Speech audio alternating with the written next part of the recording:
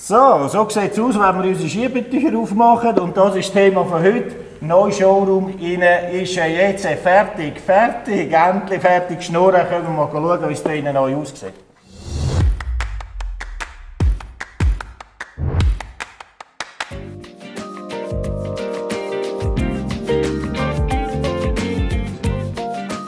So, da sind wir jetzt im Herzstück von unserem neuen Showroom. Man kann schon viel darüber reden und bla bla bla, wie immer der andere schreibt, mit Schnurri von der Nation.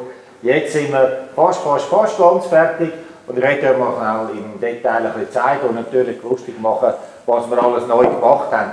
Generell fällt auf, es ist alles schwarz und dunkel. Ähm, der ganze Showroom Decken rausgestrichen.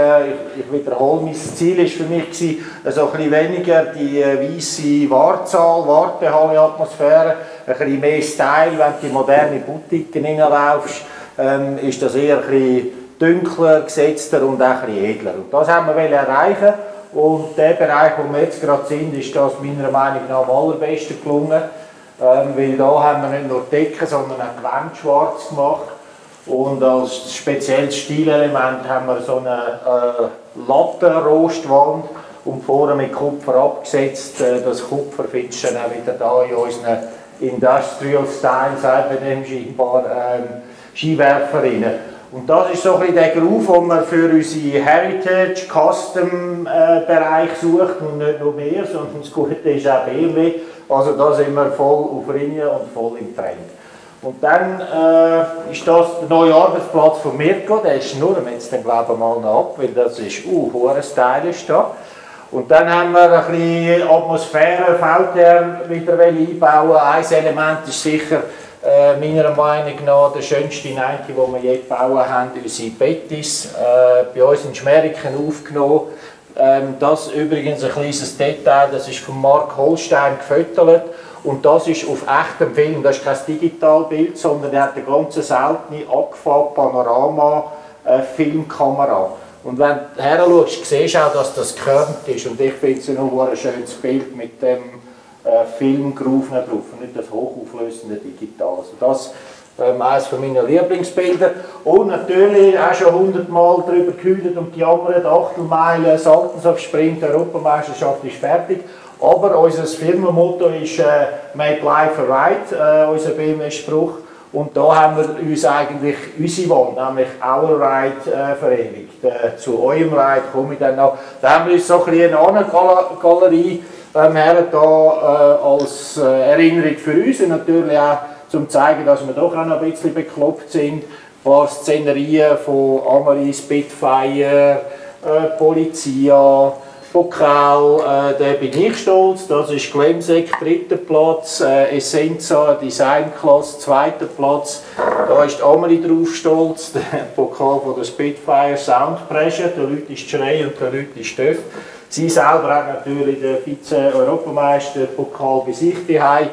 So, das ist so ein Galerie, das äh, mein eigener Rennhelm. Das ist übrigens der Helm, den ich das allererste Mal Polizia gefahren bin, in Glemsek. Und da ein, äh, ein wichtiges Foto für uns persönlich.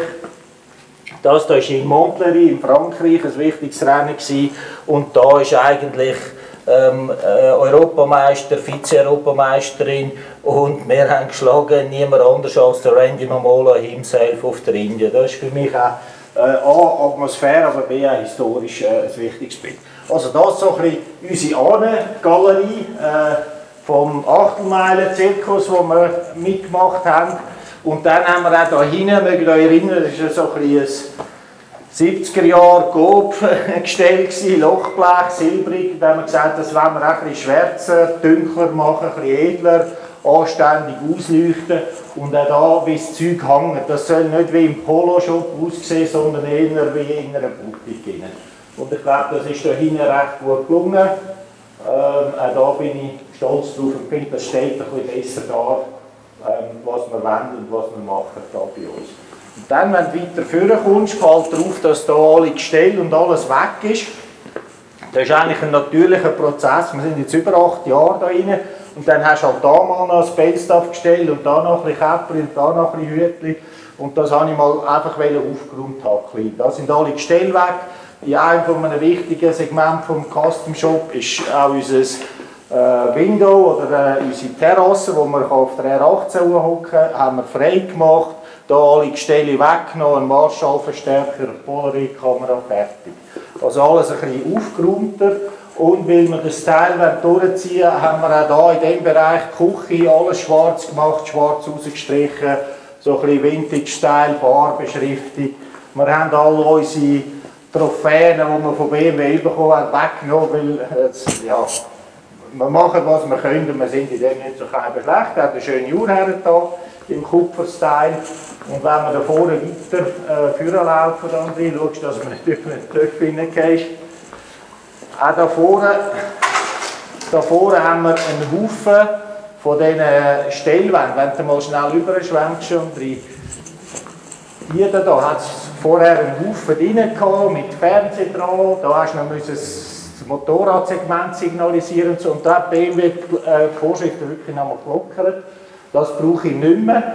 Und durch das haben wir einen Haufen rausgenommen. Wenn du jetzt hier hinschaust, hat es einfach viel mehr Luft und viel mehr Platz. Und etwas, was uns, wenn du hier im Laden hineinhockst und da raus schaust, ähm, auch für die, die sich mögen erinnern, ich schon bald nicht mehr, links und rechts haben wir wieder zwei so riesen weiße Stellwände haben. Das war Vorschrift von BMW, wo Öffnungszeiten, Internetadressen waren. Auch die brauchst du nicht mehr, haben wir weggenommen. Hier rechts hatte ich so einen, Bildschirm, einen Touchscreen von außen. Der hat hier auch einen Haufen Schaufenster und Sicht rausgenommen, haben wir weggenommen. Und jetzt hast du vorne wieder eine riesige Schaufensterfront. Hier haben wir noch einen kleinen Bildschirm und haben alles ein bisschen lockerer gestaltet und ein bisschen äh, edler dargestellt, aus meiner Sicht. Und dann, wenn wir da weiter hinten gehen, wenn da hinter dem Film schon drin, da sind all die Stele mit Fernsehen und die Plattformen, die wir als Vorschrift haben müssen, das ist alles weg. Jetzt hast du Platz und Luft und siehst da durch den ganzen Laden. Und da bei mir, ähm, auch wieder, viele mögen sich vielleicht schon nicht mehr erinnern, der Kameramann schon, so, hey, ma lavoro ist noch nicht eingegangen, capisci? also, das ist eine weiße Wand und da hat es da so ein bisschen 2000er Jahr Style, Welcome, Leuchtschrift und so, das haben wir alles weggenommen, schwarz. Und das ist so ein bisschen unser Messageboard, haben wir es dann gemacht. Das ist das Einzige, was da innen noch fehlt, da kommt noch die offizielle Make Life Bereitschrift drauf. Da, wenn wir es vorher gegeben haben, das ist so meine Kreditafel, wo ich aktuelle Aktionen, Events oder so äh, drauf tue. Und da habe ich etwas Spezielles wählen, weil es sind nicht nur wir, die, die fahren und unsere Reise machen, sondern wir haben Haufen, Haufen Kunden, wo wir äh, aus ihren Reisen, wo sie auch immer sind, ein Bild schicken, weil sie gerade unterwegs sind. Und da wollen wir so ein bisschen eure Kundenwand mit lustigen Bildern und Szenarien machen. Äh, der Rolf hat den R1250R customized von uns, ist, kaum hat er sie abgeholt in Sardinien gewesen. Ich habe da den BMW Club von Südkorea in Schmeriken. Äh, der Mark Homlicher ist gerade in Andalusien äh, meine Tochter ist auf der R18 von der Amelie gehockt in St. Moritz und meine Frau ist fast auch mitgefahren, um Achtelmeilen. Ähm, ein spezielles Bild noch einmal Randy Mamola mit der Amelie im Montleri. Äh, das ist von unserer Toskana-Tour, das ist der Marc Tatonka, sagen wir dem.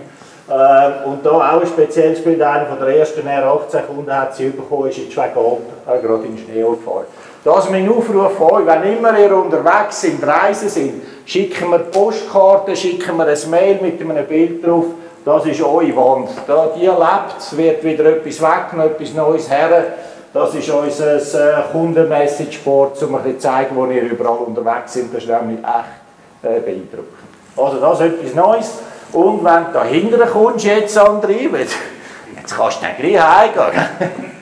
So, etwas, was mir auch am Herzen gelegen ist, wir haben ein extrem grosses Bekleidungsangebot und das haben wir da auf einen Haufen Ständer und ist halt auch gewachsen über die Zeit.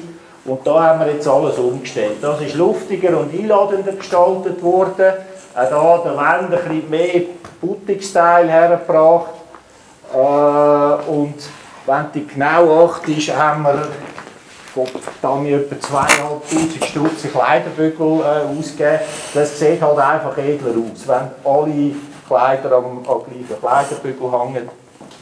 Und wir haben dann gesagt, wir wollen nicht mehr alle alle Jacken, alle Hosen, alle Größe auf einen Kleiderständer puffen, sondern, ja, das muss ich euch nicht erklären. So wie es halt in einer gut gestylten Boutique aussieht, einfach ein bisschen ähm, stylischer äh, präsentiert und das finde ich auch in diesem Bereich sehr gut gelungen.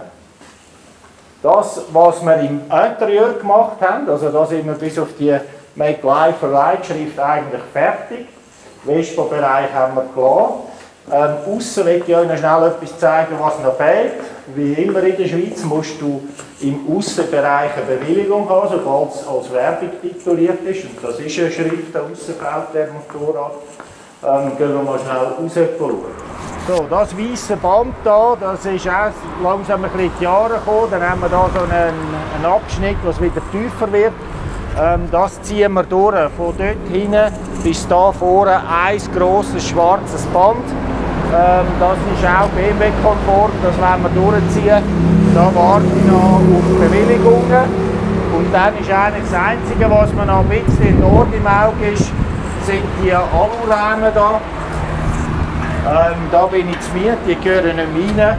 Das heisst, die werde ich nicht können streichen oder reloxieren, aber da haben wir eine Lösung gefunden, schlicht und einfach nicht verlieren. Das Einzige, was noch fehlt, ist ein schönes Band schwarz und dann die Schaufensterfront schwarz und dann sind wir ganz, ganz fertig. Und dann hat es auch das Teil bekommen, ähm, hat eine ziemliche Stange Geld gekostet, aber hat sich gelohnt, weil wenn du jetzt hier den Laden herlaufst, hat es keine Schilder, keine Tafeln mehr und wenn du da reinkommst, wie ich vorher gesagt habe, sieht es hier viel stylischer und edler aus und da hat es Platz und Luft und siehst Leute und Töpfe und hockst nicht gerade auf einem Hobel oder vor so einem Brett unter einem Fernseher. Das hier, die lange Geschichte zu, zu einem Umbau, der ebenfalls lang gegangen ist, mit dem haben wir euch animieren, ähm, natürlich wieder zu uns kommen, den neuen Umbau zu bestaunen und einfach im, im Thema Style ähm, eins oben draufsetzen. Meiner Meinung nach ist es gelungen. Du schaust selber und du selber beurteilen. Willkommen bei uns hier im Laden, im neuen Laden. Natürlich gibt es wieder Kaffee und Zwetschgenlutz und Whisky. Das ist geblieben, das bespricht er. Unser neuer Showroom in Schweriken. Ab jetzt live. So, wie es scheint, äh, gewöhnt ihr euch langsam an das neue Videoformat. Immer einzelne Häppchen, kurz und einfach kreuz und quer durch die Woche durch präsentiert, anstelle von einem grossen, langen, stündigen Video. Eins habe ich aber immer wieder gehört, ab und zu, per Mail oder von Kunden, die da sind, die haben gesagt, ja, wo ist die Zusammenfassung G? Also haben wir mit unserem Regieleiter da hinten besprochen, Geld, das haben wir besprochen. Also ich habe gesagt, wenn wir es machen, wie immer, ähm, das muss ich, gehört zu unserer ähm, Video-DNA. Also nach jedem Video eine Zusammenfassung geben. Ich senza Merico hatte fatto tutto il showroom di Nero. Guckst du, musst du mitnehmen die Lampe, dann siehst du auch die alle die neue Vespa. Also kommst du gucken in neue Showroom in Schmerikon, ist alles schwarze Zusammenfassung aber fertig Flasche leer.